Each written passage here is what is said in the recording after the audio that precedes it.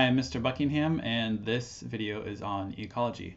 So, uh, before we start, ecology, the definition, if we split the prefix and suffix, so eco in Greek means house, and ology in Greek means study of, or Latin, rather.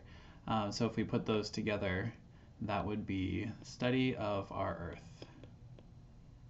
And we like to organize how we uh, talk about different systems of uh, ecology and of our Earth. So we use this mnemonic device called Babekbo, and we'll get to each type of organization. So the first one, which is going to be the smallest one, is going to be an organism. So that's going to be a single individual. And that single individual is going to have a certain role in its ecosystem. And that we call the niche. So a niche is going to be the role an organism has in its environment or ecosystem.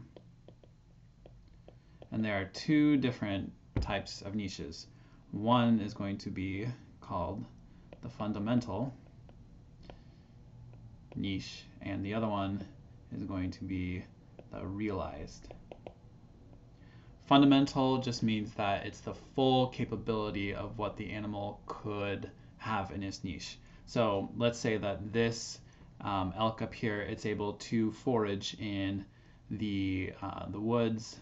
It's able to um, graze in open, open fields. But, so, so that would be its fundamental. But however, there's competition.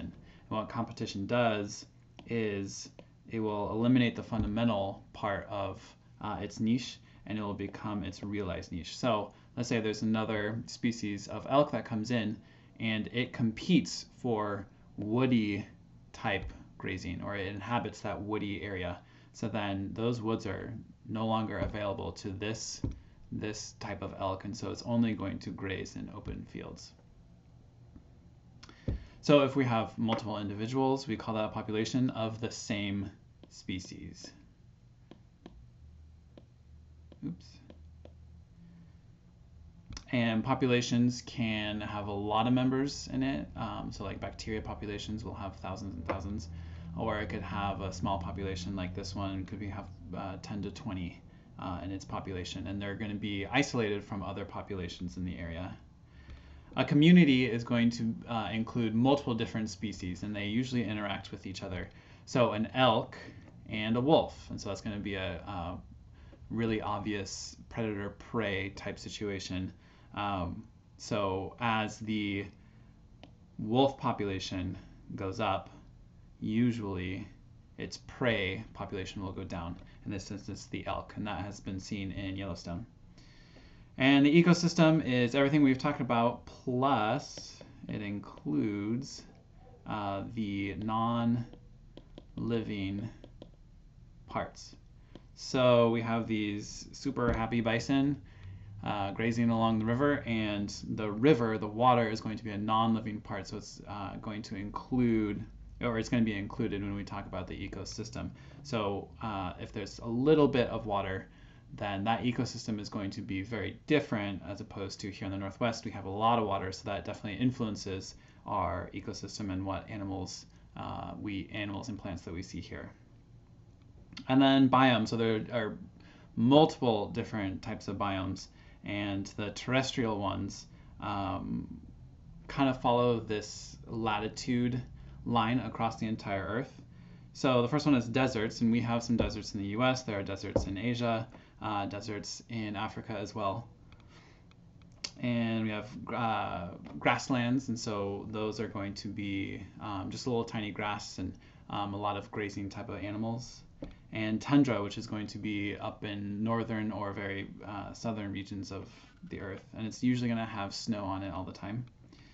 And uh, this is the um, uh, deciduous forests and we have a, a large deciduous forest on the eastern coast. And here we have the um, coniferous forests, sorry, and those are going to be uh, indicative of really wet conditions and pretty cold in the winter. And then lastly, uh, we have tropical areas, and so that's going to be pretty warm weather and uh, a lot of precipitation per year. So uh, water biomes, um, there are different types. So aquatic versus marine. Aquatic is going to be freshwater, and marine is going to be uh, saltwater. So this uh, picture here is going to be of a freshwater type of biome. And those could include in it, these are not biomes, but what could be included in the biome are going to be lakes, streams, uh, rivers, and in the marine uh, areas is going to be open ocean